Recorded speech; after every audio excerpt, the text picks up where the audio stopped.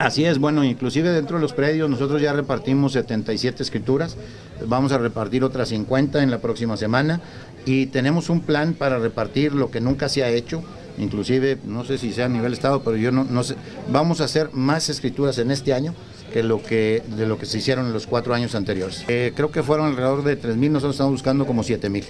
Porque no solamente queremos entregar las escrituras, sino lo que no queremos es que siga habiendo invasiones. Inclusive hay invasiones que los provocan los mismos dueños y eso no lo podemos permitir para, para no tener que meter y para que el municipio al final de cuentas sea el que tenga que meter el pavimento, que sea el que tenga que meter el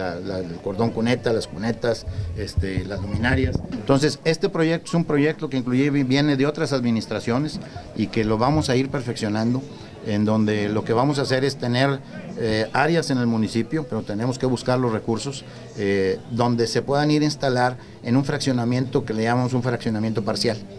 Ese fraccionamiento parcial, ellos van a ser dueños de su lote, van a tener su contrato, todo, etcétera, en su momento, para que se sientan ya dueños. Con la imagen de Marco Gamis para RCG informó Enrique Hurtado.